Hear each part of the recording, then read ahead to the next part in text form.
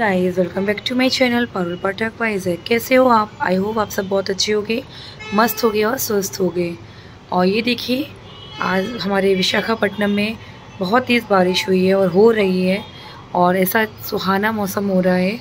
I hope आपको अच्छा लगेगा। एंजॉय कीजिए और बने रहिए मेरे ब्लॉग में। ये देखिए, हमारे पेड़ पौधे भी स्नान कर चुके हैं। बारिश के, वर्षा के, पानी से, जल से और ये देखिए, मैंने जूम कर दिया है। आपको वो बादल दिख रहे होंगे, दिख रहे? हैं वो पहाड़ पे बादल। पहाड़ों से बादल छूते हुए। हाईवे है यहाँ पे, हाईवे पे ही है हमारा मेन घर।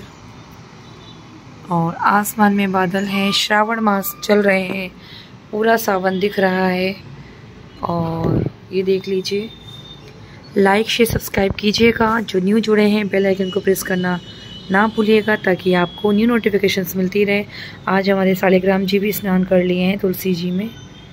वर्षा हो गई अपने आप ही। और जब नेचुरल प्राकृतिक जल मिल जाए तो क्या कहने, पेड़ तो अपने आप ही स्नान भी कर लेते हैं और उनमें जान भी आ जाती है। ये देखिए लाइक शेयर सब्सक्राइब कीजिएगा। और नीचे आम का पेड़ लगा हुआ है ये। और यहाँ नीम का पेड़, यहाँ पे जो नीम के पेड़ के जस्ट नीचे मिट्टी मिट्टी से दिख रही है ना, वो ये गोल गोल यहाँ पे नाग देवता रहते हैं।